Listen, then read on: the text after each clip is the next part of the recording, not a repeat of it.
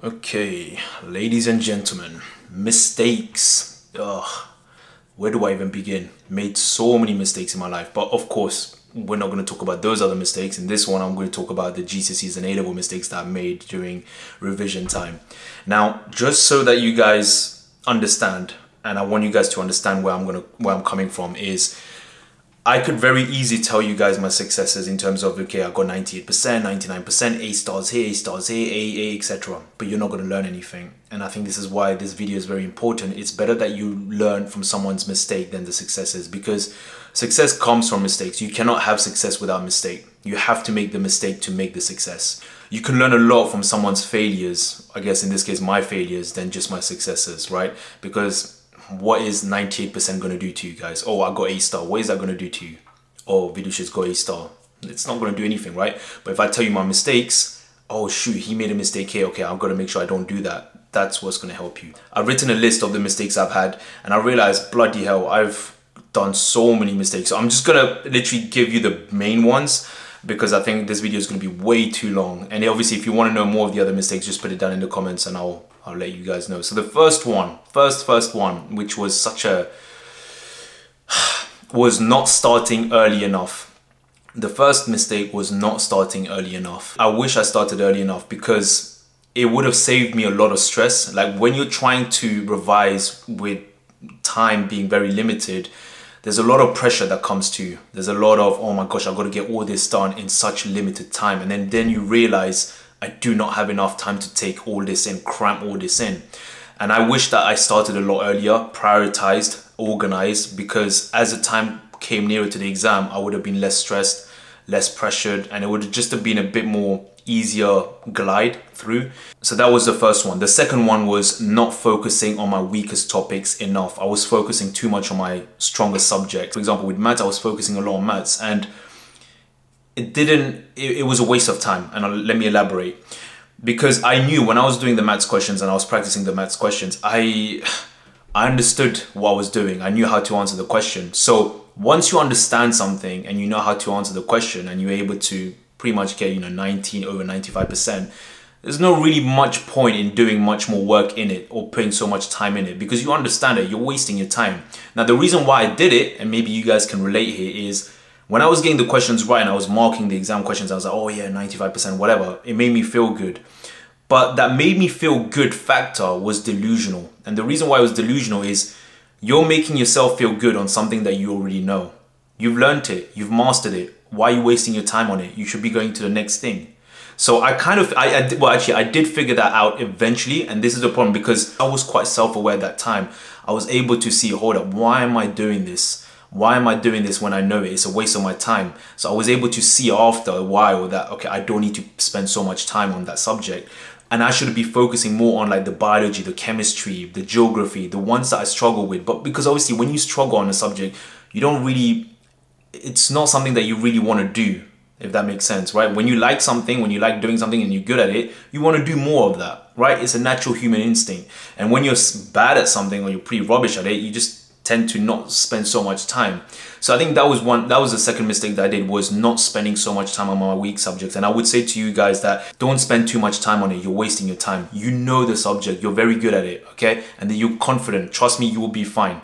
Spend more time on the weaker subjects. It is uncomfortable. I get it. I understand. I felt it it's uncomfortable doing something that you don't like and you're not good at it. But the only way you can become good at it is to start and to practice. That's what I would say to you guys. The third one was, let me check. Oh my days, yeah, this one. ugh, that's a big mistake. So the third one was memorizing the exam answers when doing exam questions. Let me explain, right? You probably done this as well. You know when you're answering exam questions, whether it's biology, like especially the theoretical subjects, right? Sometimes when you see the questions and you repeat the exam papers, you automatically memorize the answers. And the biggest mistake I did, and I realized this as well after probably doing maybe 15 papers of practice, I started realizing, hold up, hold up, hold up. When I was doing the exam papers, I was memorizing the answers from the marking scheme, okay? As in like literally memorizing the answers from the marking scheme because I, did the questions again and again and again. And yet, to a certain extent, that might be okay if the questions are similar. But the problem happens when if the exam question in the exam is completely different to what you've learned, you are screwed. And that's when I thought, hold on, am I actually doing the question using my brain or am I actually memorizing the answers from previous practice questions? And that's the thing you have to distinguish. You've got to be very careful because your brain can trick you or you thinking that, oh, you know how to answer the exam question because you're memorizing it from previous exam questions or previous model answers. But you've got to be careful where if the exam question comes differently, are you able to understand the question and process it and think about it in for you to answer the question. You've got to ask yourself the question, are you memorizing the answers when you're doing the exam questions or you are you actually thinking and using your brain to figure out the answer?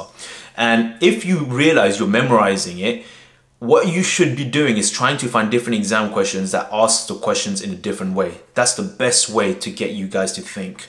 Because if you've seen a question before that's exactly the same or similar, your your memory your memory is gonna come.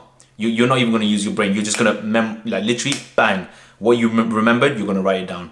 So that's you gotta just be aware of that. That's what I would say. Now the other one, which one is this? Uh, yeah, not paying attention in class. Oh my days, yeah. I mean, if you see my TikToks, you probably see I was an absolutely lazy person when it came to school and.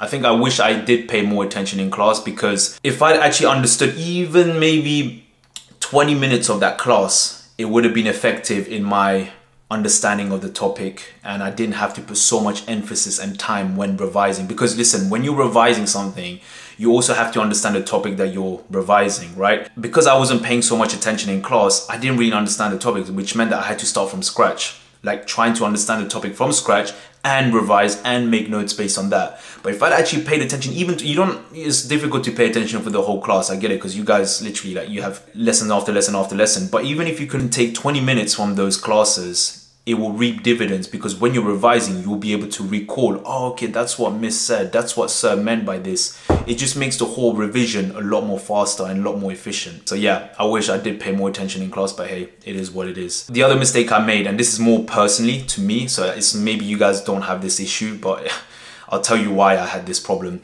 was not asking for help when I needed help.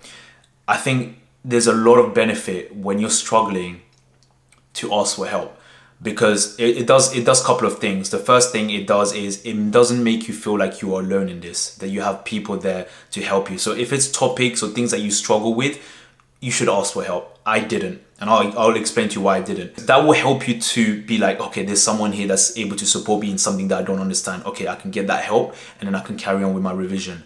But at the same time as well it doesn't make you feel like you're alone in this. Because the worst feeling that you can have is you're feeling under pressure, you're feeling stressed, you feel anxiety coming, and at the same time you feel lonely because you don't feel like you're getting any help or oh my gosh, I'm just doing this all by myself. And you don't want that. So obviously maybe you guys are not you, you it doesn't apply to you guys because you're probably asking for help. But yeah, when you're struggling with something, do also help. Don't suffer in silence. Now, the reason why I didn't ask for help is I'm a bit egotistical, a bit of pride there because for me it's like, no, I'm gonna do this by myself. I'm gonna figure it out. And yes, I did figure it out in the end, but I'm pretty, pretty 100%, 99.99% sure that if I had asked for help, I would have figured it out a lot quicker because I had a bit too much pride and ego saying, no, I'm not gonna ask for help. I'm gonna do this by myself. I'm gonna stand up on my own two feet yeah, I could have saved quite a lot of time if I just listen. I don't understand this. Can you just show me the way of how to do this, or can you give me some tips on this and that? So yeah, I don't think you guys are like that, but put it down in the comments. Listen, I'll be very very interested to see like what you guys think of these mistakes and mistakes that you guys are currently doing, or anything that you feel you can change. Just put it down in the comments. I will reply back to you guys. But yeah, ask for help when you need help, and then you can just move on to the next thing. The last one is not choosing the right environment to study. I used to work in the library, so learn, revise, etc. in the library. But the thing with the library was because there's so many people coming and going, it was such a distraction for me. And then I realized that I can actually study at home if I find the right time when there's no distraction. So for you guys, when you're studying, you want to try and study in a place where it's very quiet. Don't have any distractions. Take your phone away. No social media, no phone. Because when you have these distractions, man, it's it's very difficult to concentrate. You want to know that you've got quality revision in, even if it's two hours, even if it's three hours, or even if it's a one hour. But in that period of time, your brain is only focused on the task at hand, nothing else. Because think about it, right? You're studying, you're revising, you're doing a topic, and then your phone, your bell notification rings, uh, TikTok, Snapchat, whatever, Insta. What are you gonna do? You're probably gonna look at it. It's a distraction because that's the thing about these social media things is it's a distraction for us for us to go in and by the time you go in and get out now you have to start again to be okay where was i and it could be very exhausting because now you have to use a bit of your willpower to go back into that deep mode work so i would say just completely take distractions off phones friends and the environment that you're in you want to be in an environment where it's literally just you and deep work. Now, of course, if you are working with other people, that's a different matter because you guys are working together to revise. That's different. But if you want to work by yourself, you want to be in a complete deep state of work. No distractions at all, no noise. If you want to put music, put music if it helps you to concentrate. These are things that you can do just to make things a bit more efficient in how you revise. So these are the mistakes that I've made. Now I have a lot more mistakes there, but I thought these are the ones that are more important that could be more beneficial to you guys. And just put down in the comments what you guys want to see, what kind of content you want, things that can help you guys out. I'll be more than happy to do this. One thing I would say before I leave is listen, we all make mistakes. You guys are probably making mistakes as well as we speak and some of you might even feel the pressure and they're like, oh my gosh, I messed up. Please, let me just say this to you guys. You have not messed up. We all, like I made uh, more than thousand mistakes in my life. And if I kind of looked at every single mistake, boy, I would not even be here to speak to you guys. I would be a complete mental mess. Mistakes is fine. It's part of the learning process. Don't be hard on yourself. Take it one step at a time. If you made a mistake, completely forget about it, learn from it, and then start fresh again. That's the best thing that you can do. Just accept you made the mistake and move on. That's life. Trust me, when you finish GCSE A levels and you go into university and after university, you're gonna make so many mistakes. You're gonna come up with so many challenges in life, right? And that's why I have this personal YouTube channel, Vidhoosh, on the side that I put all these videos out there for you guys as well when you grow into that as well because these are things that I've made. These are more real life stuff there on that channel that would definitely benefit you as you get into those uh, stages of your life. So trust me, don't worry about this. Take it one step at a time and put it down in the comments, things that you need advice on, help on. I'll be more than happy to help you guys out. I'm not going anywhere. Okay? Take care, guys. I'll see you guys on the next one. Peace.